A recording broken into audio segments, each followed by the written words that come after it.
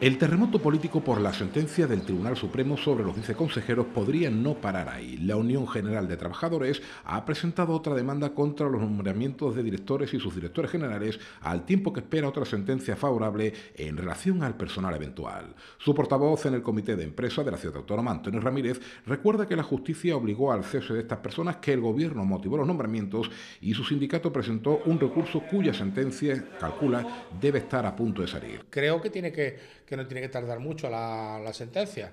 Nosotros respecto a esto ya, ya, ya, lo dijimos en su día y seguimos manteniendo y creo que y creo que, el, que, el, Tribunal Supremo, si tiene que llegar al Tribunal Supremo, va a decir lo mismo, que a Ceuta lo que le corresponde son 25 25 asesores, uno por diputado. Respecto a las críticas del gobierno de la ciudad hacia el sindicato, en el sentido de que estas demandas podrían rebajar en la práctica el grado de autonomía de Ceuta y Melilla, Ramírez señala que la intención de su central no es entrar a debatir si Ceuta debe tener o no un estatuto de autonomía, sino poner en evidencia lo que llama un exceso de personal de confianza frente a un déficit de personal estructural. Que hay un exceso de altos cargos, muchísimo.